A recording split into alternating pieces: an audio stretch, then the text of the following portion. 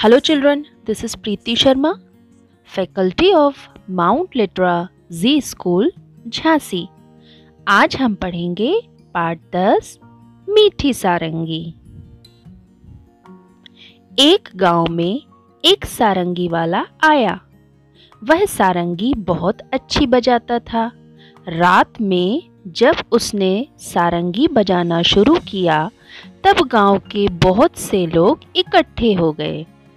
सारंगी की मीठी आवाज़ और सारंगी वाले की बजाने की कला से गाँव के लोग दंग रह गए। सब लोग कहने लगे, कैसी मीठी सारंगी है? आहा, कितना आनंद आ रहा है। वहीं पास में बैठा हुआ भोला भी लोगों की ये बातें सुन रहा था।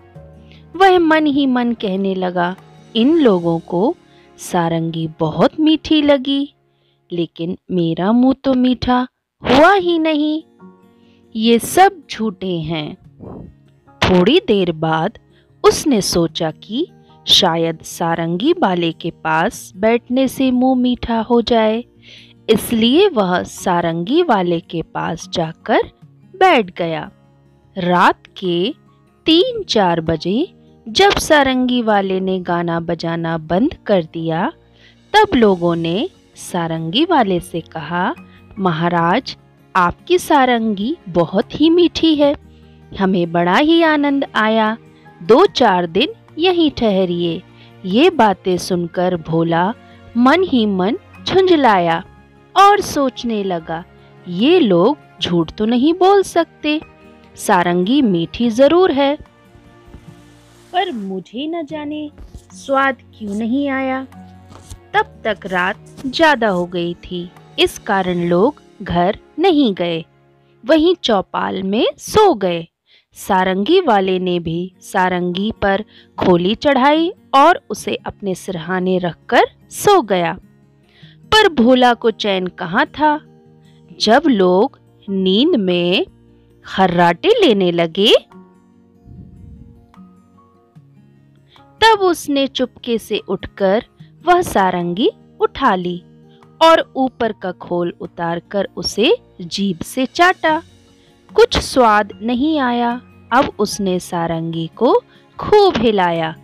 उसके छेद को मुँह के पास लगाकर मुँह में उड़ेला, पर सारंगी से एक भी मीठी बूंद नहीं निकली। वह लोगों की बेवकूफ़ी पर बहुत ही झुंझलाया। अब की बार उसने सारंगी को गाँव से बाहर दूर ले जाकर फेंक दिया। वह लोगों की बेवकूफ़ी पर हंसता हुआ अपनी जगह पर आकर चुपचाप सो गया।